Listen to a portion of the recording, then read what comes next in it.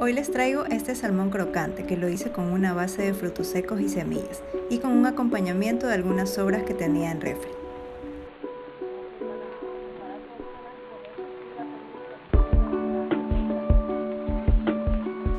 Yo usé almendras que piqué con un cuchillo, pero pueden usar cualquier fruto seco, puede ser nueces o incluso pistachos que le vendría súper bien.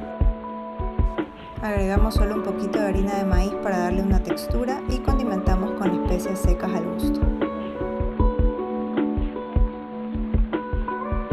Recomiendo salpimentar los filetes de salmón desde la noche anterior y refrigerar para que así absorban mejor los sabores.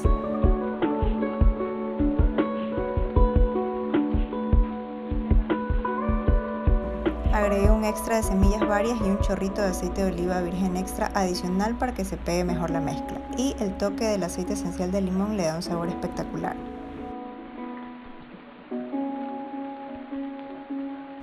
Engrasamos una placa para horno y colocamos ahí los filetes de salmón y le agregamos la mezcla por encima.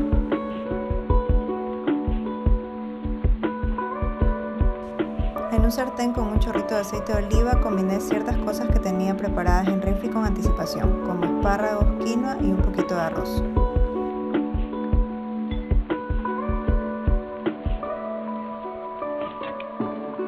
Después de hornearlos por aproximadamente 10 minutos y gratinarlos, están listos para servir.